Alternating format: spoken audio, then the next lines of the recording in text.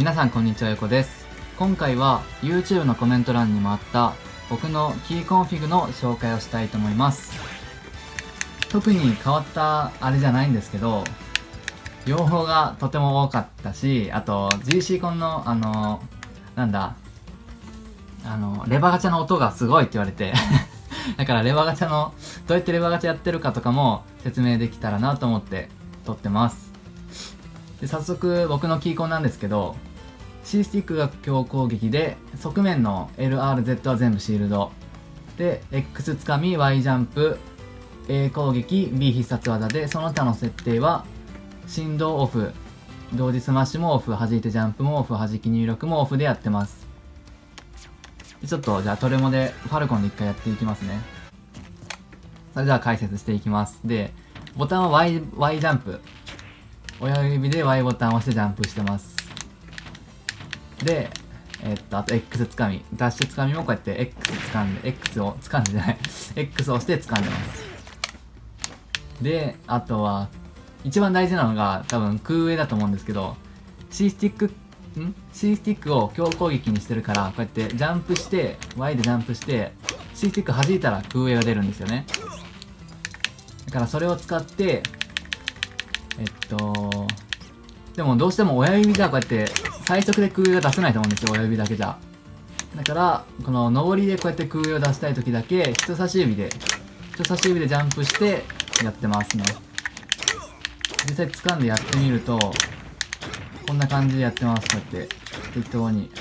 こんな感じで。こんな感じですね。はい。で、あとレバーガチャか。レバーガチャ、あい、レバーガチャは、なんか自分で操作しなきゃいけないじゃん。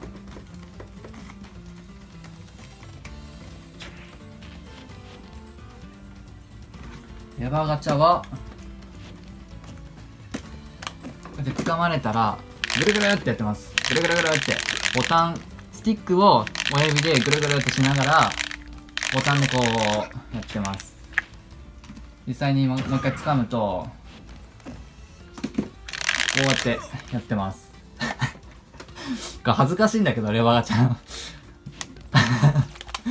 あと、反転空号は、こうやってやってます。Y ボタンでジャンプして C スティックで空を出す。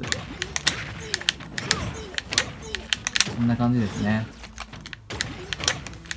特に本当変わったことはあんまりしてないし、まあこれでも、この楽々小ジャンプで空上で運べるしね。どっちでもいいんですけど、まあこれも使ってるよっていうだけですね。はい。以上です。なんか他に言うことないかな普通に空上の運びは Y ボタンと A ボタンで同時押しでこうやって運んでます空上使っ空上の時はえー、っとこんな感じで